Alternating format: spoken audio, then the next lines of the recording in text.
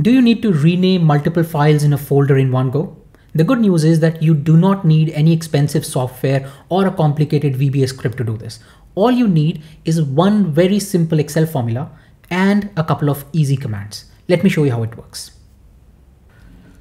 I'm currently in the downloads folder in my system and here I have this folder called example. And if I open this, you'll see that there are six files and these are the files that I want to quickly rename. Now the first thing I'm going to do is go to the address bar in that folder and type CMD. So as I type CMD and I hit enter, it opens the command prompt. And within this command prompt, you can see it has already taken the address of the folder, which was the example folder, and it has already taken the address for it. Now, to get the list of all the file names, I would use the command dir forward slash b. And when I hit enter, it gives me the names of all the files in the folder. You can see these are the six files and it has given me these names here and I can copy it and paste it in Excel. So this in itself is a very big time saving thing because I can quickly get all the file names without using any VBA script, without using Power Query or any big formula. But I just don't want to get the file names. I want to rename them. So to rename a file name, let's say I want to rename this file name Q1 sales US to Q1 sales US new.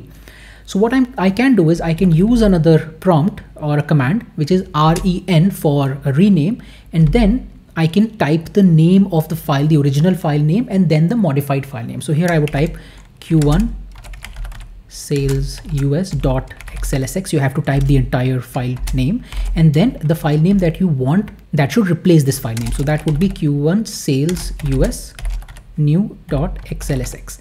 And now everything has to be in double quotes. The file name has to be in double quotes and then ren followed by the old file name, then the new file name. See what happens when I hit enter. As of now, the file name is Q1 sales US. When I hit enter, it is going to go into this folder and change the file name.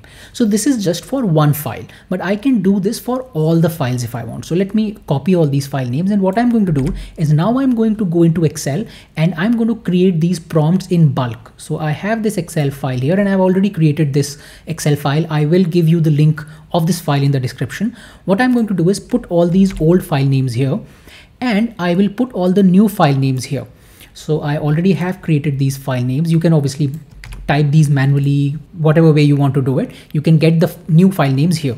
So I'm going to paste all the new file names that I have.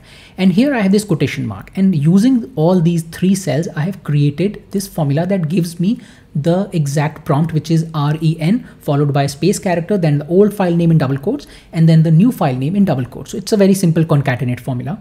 So I can just copy all these and I can go back to my command prompt and let me quickly go back to the folder. So in the folder, you can see these are all the file names. Let me change the file name because I've already changed this one. So these are the six file names. I would go back to the command prompt and now I'm going to paste the prompts that I've copied from Excel. So I would use control V and as soon as I do that, it shows me a warning because I'm trying to run multiple commands in one go. So it's telling me that you're trying to run multiple commands. Are you okay with it? So I'm going to click on paste anyway. And when I do that, it goes into this folder and it renames all these files. Now, how cool is this? It could be one file, it could be 10 file, it could be 100 files. It would do all these renamings in bulk just with this command prompt. Now, a couple more things I want to show you is let's say in case you have subfolders. So let me go back to my downloads folder and here I have another folder which has subfolders. If you want to get all the file names that are there in the main folder as well as subfolder, you can try a slightly different prompt. So I would again go back to the address bar, use cmd enter, so it opens the command prompt. And here it already has taken the name of the folder, which is example with subfolder.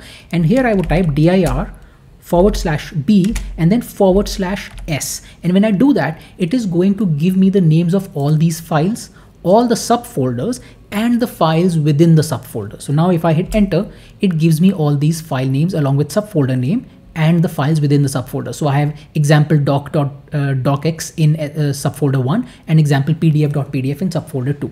One change here you would notice it that it would just not give me the file name, it would give me the entire path name. So if you have a project where you want to quickly get all the file names in all the folders and subfolders, then you can use this prompt. Another thing you can do is if you want to only get the names of specific files, let's say I only want to get Excel files, then you can use the prompt dir forward slash b and then enter the extension that you want. So in this case, what I'm going to do is asterisk .xlsx and it is only going to give me the Excel files. Now you must have seen uh, the asterisk in Excel as well. This is a wildcard character that represents any number of characters. So this means that it is going to give me Excel files and it could be the name could be anything as long as it ends with dot .xlsx it is going to give me all those files. So now if I hit enter it gives me all these four names. Now in this case I only have Excel files but if you have Excel files and PDF files and everything else it would only give you the Excel files.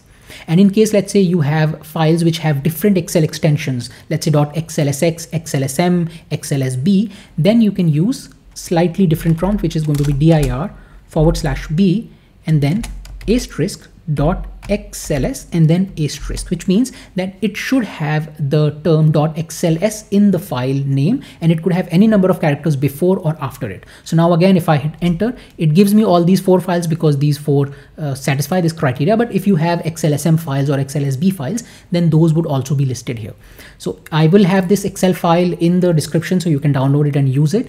I've also created these commands here. So i have these commands and i have a little bit of description so you can use these commands if you forget them so this is a really cool trick where you can use a simple command prompt to quickly rename all the files in a folder. That's it in this video. I hope you found this useful. Also, if you're liking these videos, please subscribe to this YouTube channel and click on the bell icon so that you never miss out on any new Excel tips video I come up with. Thank you and have a nice day.